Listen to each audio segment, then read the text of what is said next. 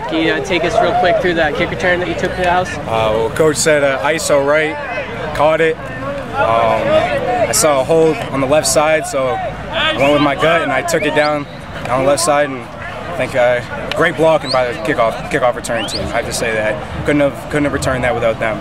Great blocking. So that was that's how it happened. Did you even get touched on that play?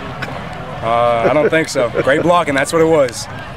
And how, how important is this one to come back? Oh, this this one was so important. We we went through the whole week preparing. Coaches did a great job. We knew we knew Everett was going to give us a good game. They they came out firing, and um, we just executed it. And our defense did a great job. So we're happy we, that we came out with a W. Awesome. Thanks. Cool. Staying on the defense, man. You guys just for six turnovers tonight, four interceptions. You had a couple, um, two fumbles. Talk about just the effort of the of those guys tonight. I mean, obviously they got some new linemen and stuff, but you guys just you took advantage. Oh my God. Um, great effort around all around everyone. Everyone did their job. Um, it was just I don't know what to say. I'm speechless. I mean, everyone everyone did their assignments that they were told to, and that's why we come out of here with a win.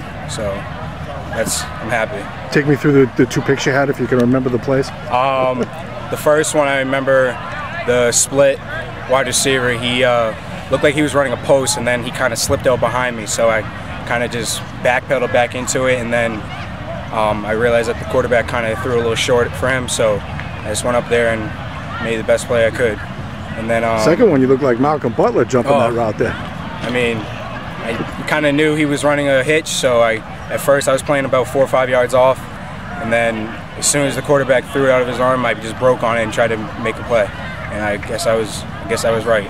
So Coby, four straight wins for Xaverian now over Everett. Nobody does that. Plus, I'm sure you guys, more importantly to you guys, getting the season, the title defense started off with a win. Talk a little about about what this means to you right now. this means everything. We we knew we had to come out here with a W because we know Everett's probably one of the one of the teams out of the whole conference that will give us the best game. So we knew that we had to get do everything right. We couldn't have any mistakes, and that coach coach did a great job with play calling on both defense and offensive side. And just like I said, preparation was great by the coaches this week. So that's really, really, um, that's really why we came out here with the W. I think. Thank you.